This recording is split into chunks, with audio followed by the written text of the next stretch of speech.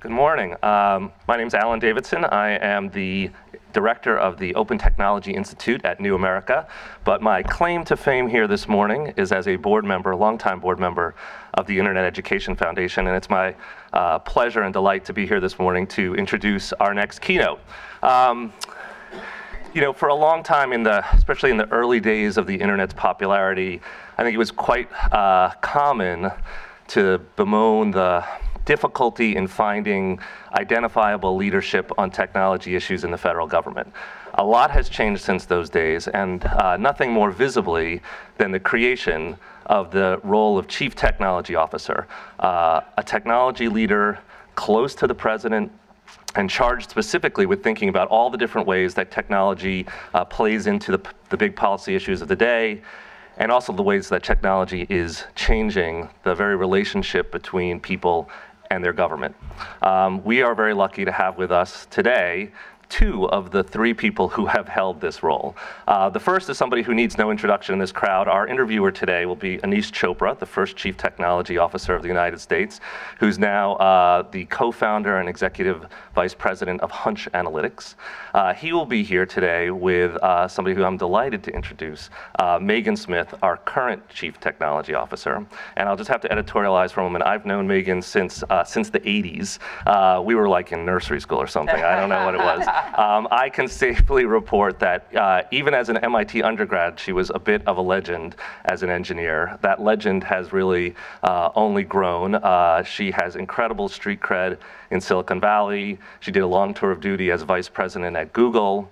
Uh, and uh, she has somebody, she's somebody who has kind of almost unnatural ability to uh, think creatively about big technology problems, think creatively about their solutions, and uh, match the people who can make those solutions happen. She's a perfect person for this role. Uh, the president has been very lucky to lure her here uh, to take this on. We're very lucky uh, to have her here in Washington, and uh, I'm excited to see what she's going to do with it. So please join me in welcoming the country's first Chief Technology Officer, interviewing our keynote speaker for today, the country's current Chief Technology Officer, Aneesh Chopra and Megan Smith. All right, here we go. Rock and roll. Thank you, Alan.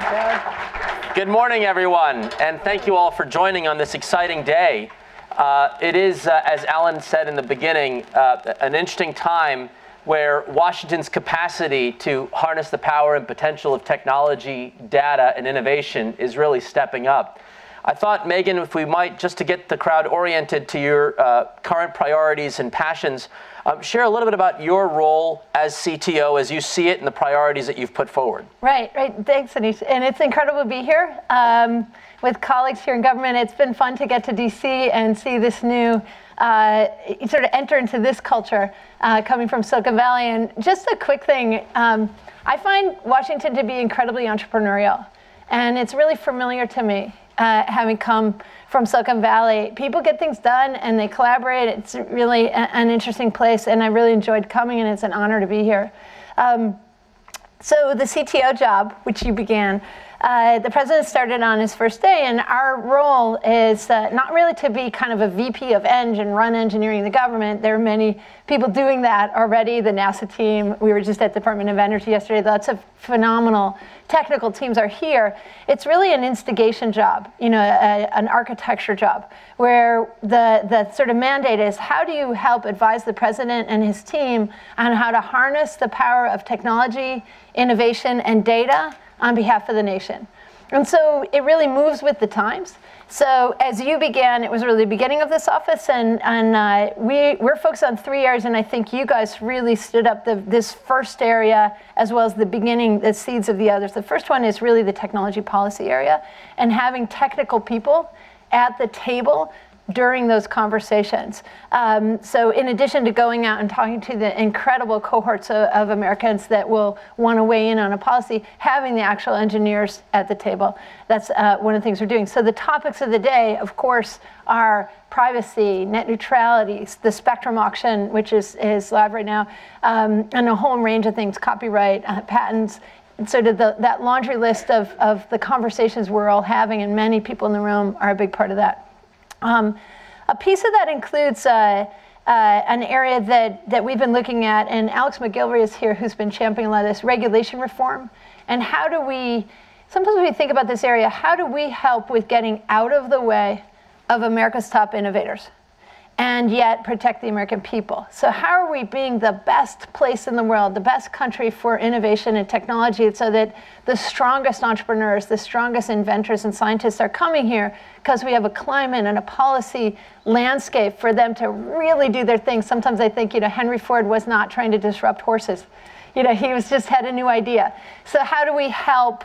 Those people do their things, well, we're still uh, learning and protecting the American people, dealing with privacy and all the things that we need to do to be the great nation. I mean, here we are in the Newseum with the First Amendment right on the wall, right? So keeping that. So I think that, you know, that's our first bucket. You guys did a huge amount of work on that uh, when you were CTO. The second area that we think about is really digital government. Yep. Um, and there's a couple pieces of digital government.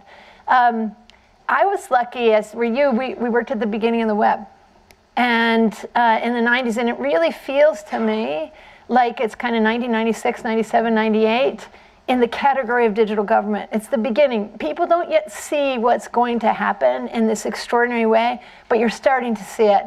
And you can feel it, and people are coming. What that looks like to me is, uh, you know, here we are in the country that uh, we are the country that created Amazon. You know, Jeff Bezos and his team were the country that created Facebook and Twitter and created the internet. Why shouldn't the websites and the mobile services and the way that we do customer service with the American people from the government, why shouldn't it be that good? Because we are that good as an American people. So the back end and the front end and all those pieces of our web services and the technologies that we use to run our government need to be that good. That's right. The IRS, the VA. And what's exciting is uh, not only have teams been working on that, but more people are coming. And I have a, I have a, a technical term, TQ, like IQ and EQ, TQ, technical quotient. There's TQ people coming to government. We accidentally got into a position uh, as a government where we often really leverage technology well during war and we bring the engineers in. You know, you see the beginning of computing with World War II and, and many of the things, the ENIAC project. Have people seen the movie Imitation Game? Uh, at Bletchley Park, Churchill standing up a very talented technical team that cracked the Enigma codes. Um, and, and helped see, uh, read what the Nazis were doing. So we bring techies in. We sort of get away with, from it a little bit in peacetime. And what we really need to do is have technical people at the table. So United States Digital Service, the 18F team, the Presidential Innovation Fellows, which are like White House Fellows who are technical, who do design thinking and front end and back end, embedding them in government. That's not to say that government should build everything. That would be not good. Uh, we should have our amazing uh, off-the-shelf products from tech, hosted products. We should have things that we contract for, custom. But there needs to be a person in the room who speaks that language. You don't want to go to a meeting in a foreign language and rely on the other side's interpreter. You just don't really, you won't be, you won't be confident in what you know, and it, not, not bad things can happen. And in this case, we want to have a TQ people, technical people in the conversation on our side when we're doing contracting and work, or someone helping architect solutions who's thinking about customer service the way that Jeff Bezos and his team would. So that's exciting. The other part of that is, of course, open government, which you guys started a lot. The president's opened hundreds of thousands of data sets since the beginning, which you guys stood up. Um, how do we get more data released? Uh, some of the greatest examples are, of course, the weather data and the geo data and multi-billion dollar industries that stand on top of that open data. How do we get more out there and how do we gauge the development community? I always think uh, less RFPs and more APIs in this idea. So how could you have a marketplace of government tech where the APIs and the data out there and people are bringing solutions. And that's really beginning to happen in a great way. So that's that area. Uh, the president's led a lot on the open government partnerships, 65 countries, lots of uh, nonprofit organizations and, and civil organizations in, and then the national action plan around open government and making progress there. So that's the third area. The fourth area is I think about the American people. Our greatest asset is the American people. And sometimes we get into kind of two countries where there's the country that I've been living in, having had the chance to be at MIT with Alan and you know out in Silicon Valley, and really part of this what we nickname innovation nation. Um, and then there's some people who are really struggling and they're not getting access at school or through university, through whatever places, to be a participant, bring their passion to the world uh, and really be part of an innovation conversation that this country needs to lift our economy and our families. And so this is an area where we really think about we almost call them just like this government place-based initiatives. Yeah. so how are we working to bridge the americans who could be working together? What are we working on? Stem education uh, bringing our youth in and we can talk more about the details of that. But those are our three areas. That's a very helpful overview and i'd like to dive into each and every one of those areas megan. And just a quick as we dive into that help uh, us understand you, who you are as we get into this conversation. Raise your hand if you work on the hill uh, or if you work in the executive branch or you have interest in influencing either side of those two? okay, got it. That's helpful.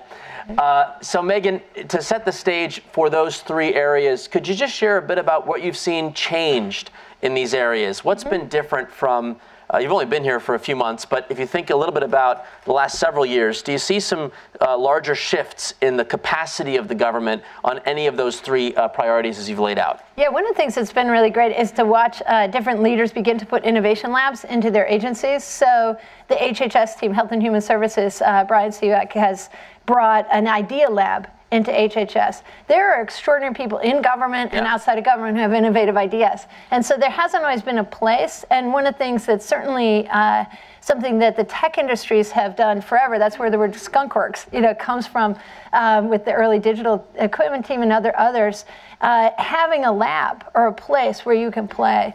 Um, and, and creating a review system that works within the agency. One of the tricks of making something like that is to make it big enough that it exists, so you have some budget and some people, and you get almost like entrepreneurs in residence who are coming from within or without and putting skills together and working on pilots and prototypes and doing things, you know, in Silicon Valley we call it minimum viable product. Make something that people can get a feel for what you're talking about.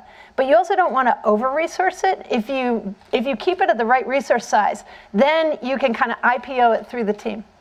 So for example, Niall, who's doing digital sciences in the CMS team, they can incubate new ideas for data science uh, and then get them straight through the Medicare and the standard systems so that we can really improve the scaled products that we have. So I think these innovation labs you see, USAID has the new Global Development Lab, so a place where they can incubate. It's, it's not only um, them doing things, but it's also things like uh, they created this fabulous group called the Higher Education Solutions Network, yep. which matrixed lots of different universities from Berkeley to William and Mary to uh, in Uganda. So sort of these faculty and students who are all over the world working on development engineering, whether it's new water systems, a new kind of healthcare delivery piece, a lot of mobile apps using you know SMS, not high-end smartphones. So getting those ideas in that talent group talking to each other and talking to the agency and getting sort of the, the blood flow around ideas really moving um, together with partners so that they can see better ways to, to execute. So I think seeing that. The second piece is really bringing this TQ or technical skills right into the government. Mm-hmm. Um, the United States Digital Service, which the president started, is, is, embedded as kind of a hub and spoke model within OMB, the Office of Management and Budget. And so you see a small team at the centerpiece, and then in the agencies, they focus on five or six major projects to begin this year, and then we'll ramp from there. Mm-hmm. One of my favorites, of course, the Veterans Affairs. Yeah. And uh, they just attracted the number three employee of Amazon to come as an engineering manager into the VA. I mean, what's your second act after Amazon? As an engineer. You've built everything. I mean, this woman's code is delivering the boxes to your house with a smile, right, for 15 years plus. So what's her second act?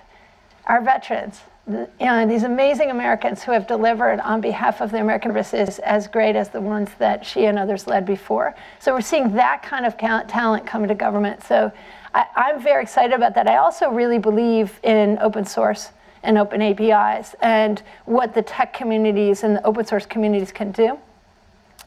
One of my favorite innovations in government that's happening is uh, the collaboration because of how the computer scientists work in open ways. So the UK team, who, is, who has the government digital service, the president was just in India, uh, Digital India, we're actually able to share code across countries. And so just like Code for America, we don't have to all have the same systems for every city. We can open, open source and share this stuff. Really seeing a ramp in that which is great. So there, are, let me unpack a few of the themes that uh, you just shared because I think that's useful for folks to understand a little bit of the current state of play. I'm going to connect two of them that you just shared. uh, this notion of internal government idea labs incubating think of them as innovation pipeline managers to sort of test the idea, potentially validate them, and then eventually they scale up, as you mentioned, IPO'd in the agencies. And in the same spirit, you referenced uh, regulatory reform, in, and you frame that in much the same way. Entrepreneurs outside of government uh, tackling ideas in a new and clever way, almost also seeking the opportunity to, to test, to validate, and then to eventually scale uh, in areas where we have regulation.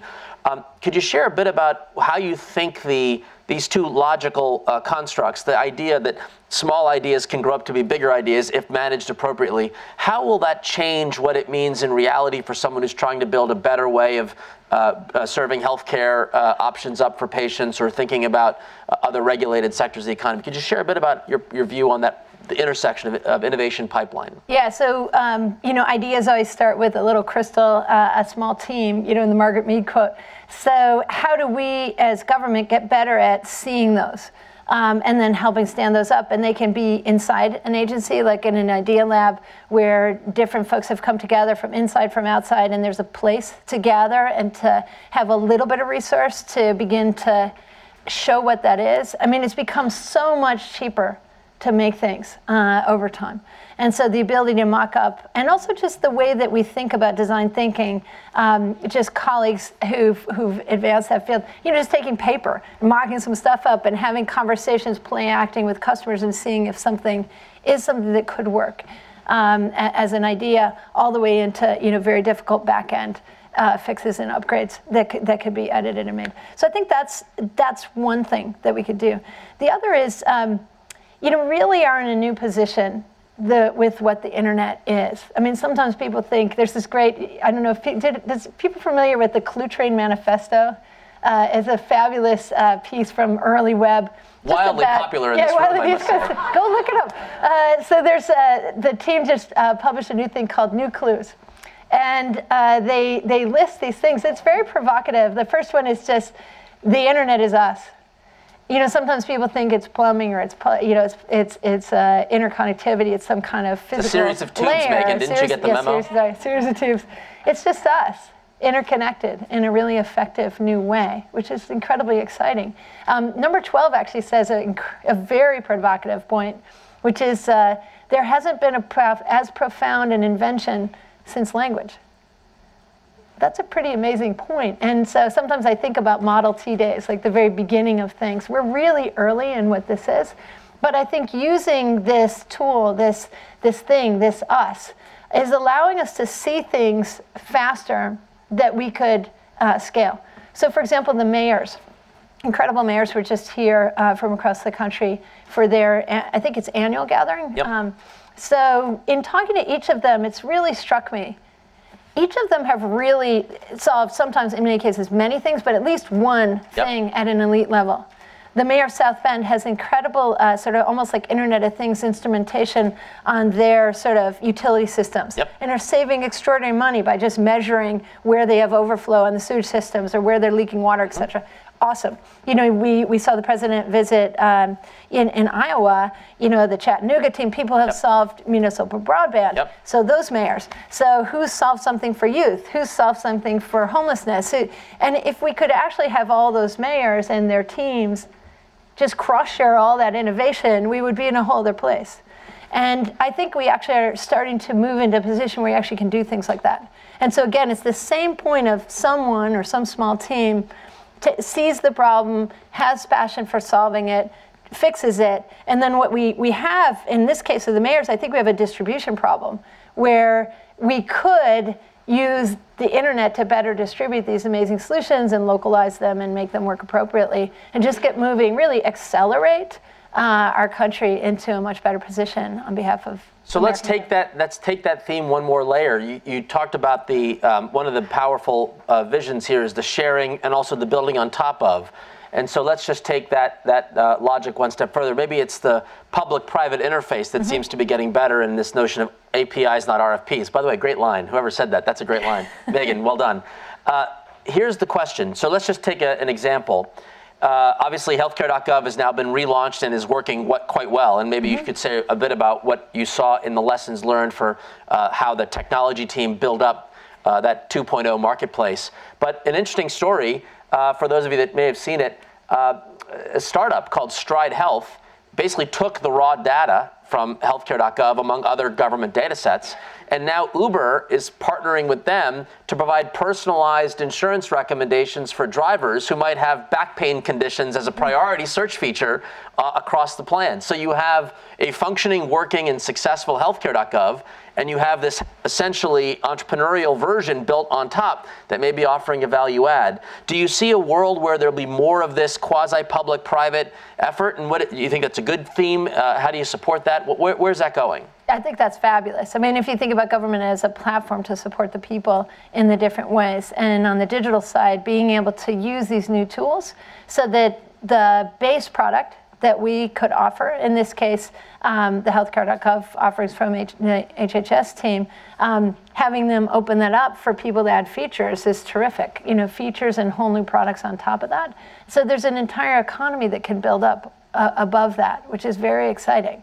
Um, and we haven't been in a position, you know, a decade or two ago to have that kind of resource, have that kind of open environment, you know, that really came with the, the, the 90s as uh, sort of open source and open systems and the ideas that came with the web entered into almost like in an evolutionary way with humanity. Um, I think uh, you were asking me a little bit about uh, watching the healthcare.gov team. Um, you know, I didn't work on that at all, but I, I, it was great to see in the second version some some things that happen. For example, just a simple thing. Uh, in the early version, the first version, it took many, many, many screens. You know, back to my Amazon analogy, like if you had to go through 70 screens to buy something from Amazon, that's really hard right? And of course, there are going to be more than one or two because it's not a, a, physical item that you're buying, something that needs some personal information, et cetera. But over time, you know, I think the, the 2.0 version took it down to, from like 70, 60, 70 screens down to like 20 and they'll get smaller and we'll get autofill and you know just making it customer centric i think they did a terrific job this time and the results happen you know we can see in the dashboarding that there's more people signing up and that's what that team you know the hhs team that's building and running that is seeing can we spend a few minutes in our last uh, segment here thinking about how you peel back one layer deeper in prioritizing across these areas? Uh, you laid them out quite well, thinking about the uh, sort of technology policy sets of issues, uh, that many cases are sort of cross-cutting across lots of, of areas, uh, potentially some that are deeper in, in, one, one sector. You spoke a lot about the notion of digital government and what that means in terms of openness and building up technical quotient uh, inside the agencies. And then you spoke about the country mm-hmm. and the gap that occurs in uh, everyone having a shot at living this better life. Could you talk a bit about where in those three do you see the greatest gap from your ideal state and use that as a basis for describing kind of where you put your priority across those three, just to give us some color as to the world as you see it today. I, you know, I think we have to push on all three, and especially the first one because policy is something that the government has access to do, and it unlocks a lot of things and also protects. And so, heavy emphasis there uh, from the team. Um, Alex MacGillivray, Ryan Panchadsaram here, wave up, guys. Uh, Ryan is here. Um, also Matthew, Becky, others from the team. These guys were all working on this. Ryan's focusing much more if people want to follow up on the digital government side. Alex working a lot on regulation reform and policy, and then we all work together. The one, I actually think that it's the American people. Yeah. Um, because I don't know, I believe in surface area. More people doing things innovatively will solve more problems faster. Um, maybe I'll give you two examples. Please. So, uh, do, do you guys in here know about um, like tech meetups? Yes? No? People going to tech meetups? A few people, yes. Okay, so, got it. So More. people have tech meetups. Um, do you guys know about things like uh, like startup weekend or a weekend where people hack a new company? Yes so that's it. These are resources that are out there. A tech meetup is more like sort of a gathering that would be happening each month or, or twice a month or once a quarter where the techies on that topic and meetups happen, they could be happen on hiking or alternative medicine, whatever topics. I think it's interesting that there's uh, about 500 tech meetups a day in our country. So the president was in Boise, Idaho last week, and so we contacted the meetup teams. Turns out there's 14 tech meetups in Boise. One of them has more than 700 people in it that meets monthly on web development. There's another called Girl Develop It that meets twice monthly that does coding, has about 45 people in it. So you don't think of Boise and technology in that particular way that there's an entrepreneurial community there, but there is. Um, startup Weekend. So Startup Weekend and these kind of startup hacks happen all over the world. If you actually go on the web and look at the map, they're happening all over our country. There was one last week, weekend in Bismarck, North Dakota. Um, and it was at a really cool space where the Bobcat team has an innovation center, a great space like the Newseum, and they gathered. Um, let's talk about the two Americas. The president was at Standing Rock Reservation uh, with uh, fabulous young, uh, the Native American youth there.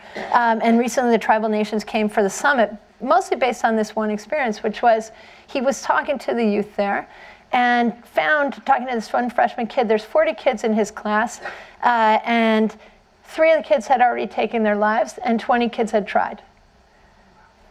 That's a haunting 20? statistic. Yes, to me, it's the most haunting statistic I've heard since I've been in government. So there's these two Americas. Now, Standing Rock Reservation is one hour drive, maybe one hour, 15 minutes from Bismarck. So I contacted some folks that I met from Standing Rock and some folks that I had met from the startup and said, why don't you guys invite the kids? The kids were excited and a bunch of them went up there and had an incredible time this weekend. This And so- weekend? yeah. So I, to me, it's like the great American meetup needs to happen. Like we need to barn raise this country. Somebody has a door over here and a this over there, and they- they're not talking to each other. Um, and yet they're right there hiding in plain sight. And in Silicon Valley, you could get off of a plane and uh, you literally would like walk anywhere in Silicon Valley and say, I'd like to I have a startup, I'd like to join a startup. Everyone would help you, right? It's That like there's just people pouring out of coffee shops and driving around, taxi, everyone would help you. But in many of our cities, that innovation team is there. There's people doing startups, there are people with maker spaces, there's TEDx's, there's like the Burning Man equivalent. Like in Boise, Idaho, there was this thing called Hackfort, which is just like South by Southwest, you know, and it's on campus. This is happening all over our country, but it's hiding on the rest of the Americans. And so we need them to, we need to bridge that together. And I think that, that as we begin to do that, the American people will do the thing they've always done, which is kind of lead us into the future. Megan, I want to invoke our, uh, our, our compatriot who couldn't join us today, Todd Park, Yeah. uh, our, our second CTO. He had an expression for this that I'd like to get your comment on, and that was uh, when asked why has there been this divide, this you, you, we see it everywhere we go. Uh, Todd's reaction, and I'll paraphrase, was that there's this wall of disbelief that seems to get in the way of people thinking that they can make it to that other side. And the big magic on our side has been to evangelize the fact that that wall of disbelief is paper thin. Mm-hmm. And that if we could find a way to punch a hole through that wall of disbelief, we could actually get folks to say, I'm in that reservation, but I can be in that tech meetup and I can see myself in the innovation nation. You want to react to Todd's description of this? Do you think of it in the right? Is that is that a reasonable way of thinking about it? And how would you respond to that and build on that as a message for folks thinking about where to go next? Yeah, and we can move the tech meetup to the reservation. That's right. So uh, yes, I, I think it's a pretty great visual. You know, like if you sort of punch through this, like somehow we're not seeing each other, even though we're right there, is is is critical. I think in some ways uh, there's a real opportunity with the schools to to do more of this. We in budget cuts we accidentally kind of took away all the maker things from many of our kids. We took away art and shop and home ec. And one of the most popular classes at MIT is called How to Make Almost Anything. And so to me, that's like art and home ec and shop. It's like the thing that you could learn to do. Um, you know, we would never teach children not to write when we teach them to read, but we teach them all these math and science facts without giving them the ability to express the maker, discover part of themselves, not to do. And, and uh, so you see these master teachers in our country who are getting it done. And so again, it's like they're hiding in plain sight in the education system. Let's scale them and let's transform our education system. Let's make sure, you know, one of the big findings for STEM learning is you, the kids, most, some kids are listening because they've done the projects outside of class but most kids aren't quite sure why are we learning this thing? What, what's the what is it for? What does it do? Because they want to change the world. Yes. so if you can get them to understand that uh, you know we need to bring alan shepard back to earth so it would be nice to do this trajectory and this math is related to that or you know like really context-based things i think we could pull more kids in and got to do much more active learning which science shows us is the best way to learn. Yes. We're at the end of our time, but Megan, I'd be remiss if I didn't ask you just to say a word about the role of this is for everyone. Um, women and minorities tend to be underrepresented in, in this concept of Innovation Nation. Could you just close us out with your perspective? Obviously, being our first female CTO is a great, uh, again, breaking through uh, some barriers. Tell us a bit about that, your perspective on women and minorities in this Innovation Nation, and then we will move to the next topic. Sure, and uh, actually, I think Cathy McMorris Rodgers is speaking next. That's that right. Yeah, and uh, the first time I ever came to go to the Hill, actually, the Republican Congresswoman had asked us to come talk about STEM. So it's an honor to be here with her and with Jared Polis, who I worked with on the beginning of the web, who's I think here as well. Um, you know, the conversation continues around how do you get people to physically try this stuff? It's, it, I sort of have an expression, practice makes permanent, and that's true in any kind of innovation. It's true with our kids. The more they try this, the more they'll understand. That happened for me. I went to school uh, in inner city Buffalo, and we had mandatory science fair. So we were required to practice that doing. And it taught us not only that it's interesting and fun, but also taught us some confidence that we could do it. And it wasn't like Mount Everest, you actually just start it, just Yep. like when you learn to write, you Yep. start with some letters, and eventually you can write an essay. So, same thing with science and tech, and we need all our children to experience that. The other one that I think is incredibly significant that we could get done is um, the unconscious bias that we have in our media around uh, the visualization and the actors and the way we portray who does what. So there's there's stereotyping that happens around race and gender. There's also um, do you guys know a thing called the Bechdel test? Yes, no. The Bechdel test is uh, is from uh, movies. So uh, if you're watching a movie and there's more than two women characters, major or minor, if they have a conversation with each other that's not about a man, most movies can't pass that, and especially in science and Are technology. you serious? That's, yeah. that's, uh, that's pretty bad. Yeah, well, it's partly because there's so few women writers that you're getting this one perspective. So that that's happening in science and tech. And uh, I'll give you an example. I mentioned the imi- imitation game. It turns out that actually Bletchley Park, the true story is that uh, more than half of the Bletchley team were women at the elite math level too. And so Joan Clarke, who's the character that's portrayed with Alan Turing, is not an anomaly. She not only is she a real character, she's true, she's true in history as he is, but um, there were a lot of technical women. At the movie Jobs, another one. Um, I have friends who were in the Mac team. The Mac team, if you look at the Rolling Stones photographs of uh, who made the Macintosh with Steve, seven men and five women appear in all those photos. Oh, wow. But in the section of the movie from Hollywood, accidentally, no women were in cast for the Mac scene. No, none of those women, Susan Kare, Joanna Hoffman, any of those elite Americans who did that work. When you look at the movie Apollo, most people don't know Katherine Johnson. Does anybody here know Katherine Johnson? Uh, Katherine Johnson is the African American woman who calculated the trajectories for Alan Shepard, John Glenn, and the Apollo mission, and she lives in Maryland. Wow. So we need her. Let's She's celebrate incredible. these folks. Yeah, we just need them to appear so that All all, right. young men and women and people can can see them. Megan, we got to right those Okay, wrongs. yeah. Our CTO, Megan Smith. Thank you, everybody. Well done. Well done.